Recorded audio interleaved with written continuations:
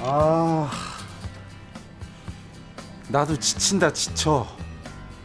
노 상태의 그 인간한테 언제까지 쫓겨다닐 수도 없는 거고. 그래. 한 판 붙고 말아야지. 하, 그래.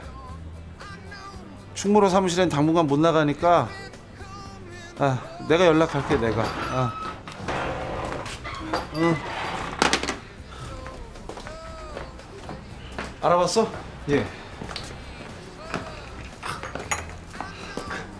형님 예상이 맞습니다. 그때 만수가 신정구 단장 납치한 건 조명국이 사주를 받고 한 겁니다. 요즘도 만수는 조명국이 밑에서 일을 하고 있고요. 조명국이는 뭐 하던 놈이야? 강기태 아버지 밑에서 일을 했습니다. 그 집 모든 사업을 도맡아서 한 거나 다름이 없죠. 그러니까 조명국이 그놈이 강기태 아버지를 배신 때리고 장철환이 밑에 붙은 거구만 맞습니다. 근데 강기태 그놈은 날벼락을 맞고도 그 사실을 모르고 있다 예. 아유 아유 아유 불쌍한 놈